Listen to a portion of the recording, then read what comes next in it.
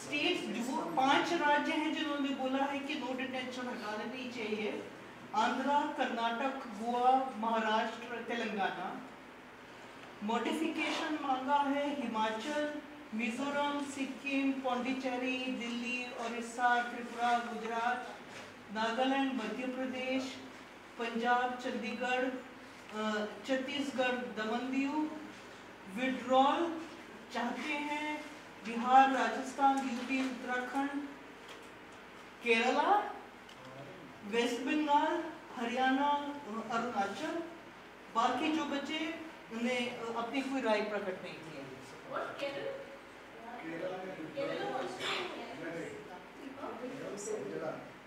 की